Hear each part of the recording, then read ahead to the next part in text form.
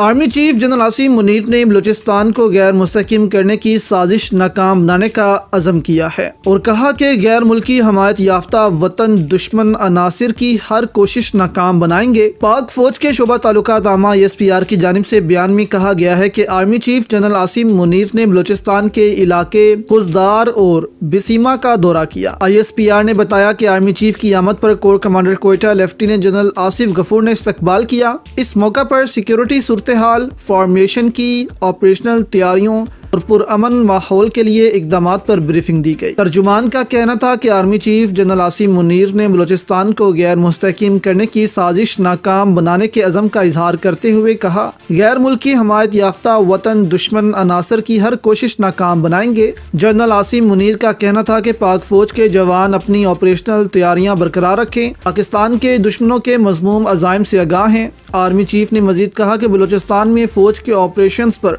तवज्जो मरकूज की गई है। लोगों को समाजी इकसादी तरक्की के लिए साजगार माहौल की फ्राहमी पर तवज्जो मरकूज है। अब यहाँ सी पैक के लिए खतरा बढ़ता जा रहा है। हमने पहले आपको बताया था कि सऊदी अरब यूएई का इंटरेस्ट भी अब चीन और सी पैक से जुड़ने जा रहा है।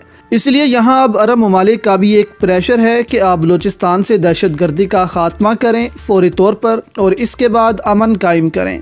और सियासी माहौल को भी बेहतर करें। इसलिए तो आपके सामने है कि जैसे ही यासी मुनीर सऊदी अरब और यूएई से होकर आए, इसके बाद ही इमरान खान ने असम्बलियाँ तोड़ दी हैं और वफाक की हकूमत भी बहुत जल्द गिर जाएगी। और इसके बाद तीन माह के अंदर अंदर मुल्क इलेक्शन की तरफ़ बढ़ जाएगा। और इस वक्त 80 परसेंट चांसेस हैं कि इमरान खान की ही हकूमत आएगी।